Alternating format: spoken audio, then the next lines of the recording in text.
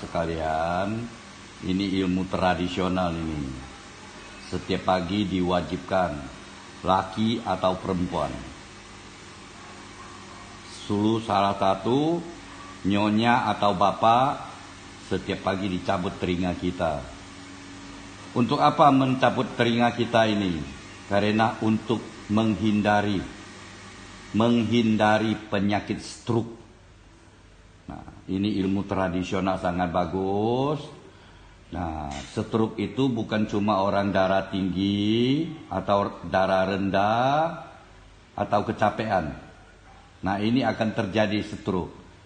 Nah, dan juga di dalam telinga itu di kacau ini akan memperbaik mem, mempengaruhi timus kita, jantung kita, semua kena ini kalau kita kacaukan di dalam telinga.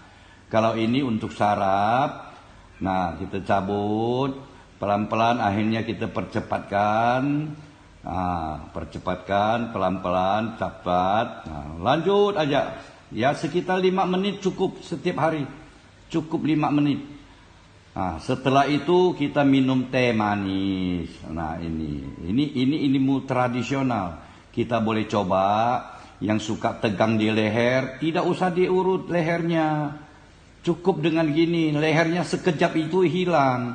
Sekejap itu langsung hilang ketegangan leher itu. Apalagi orang sakit kepala.